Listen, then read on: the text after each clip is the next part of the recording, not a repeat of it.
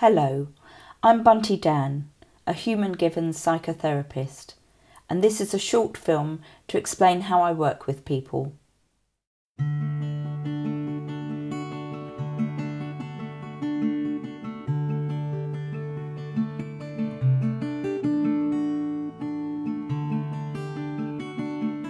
This gift represents each of us. This outer layer can represent what we think is acceptable to present to others.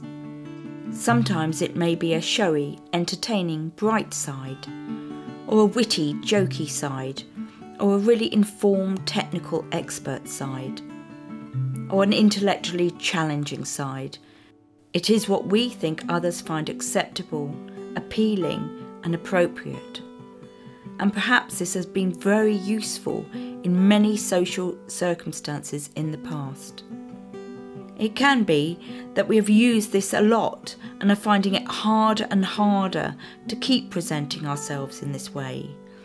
It may be that we feel stuck in only being able to show this side of ourselves.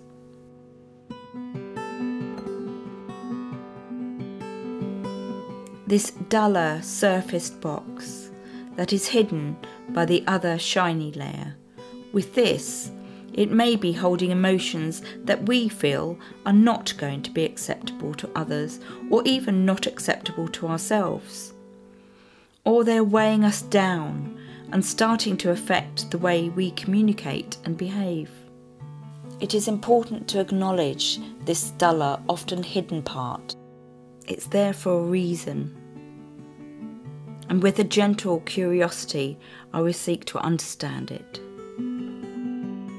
If we remove the lid of this dullness and take some time to appreciate what is inside, what is at the core, something precious, a jewel, the ability to reflect, a sparkliness that can light up, and a softness, a kindness that can be felt. And when we really connect with these parts of ourselves, we feel the vibrancy of life, our potential, and the resilience we need.